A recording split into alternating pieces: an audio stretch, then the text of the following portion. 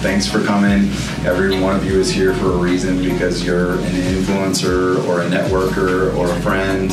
Um, and somehow, in some way, are involved in investment real estate. That's really what this is about.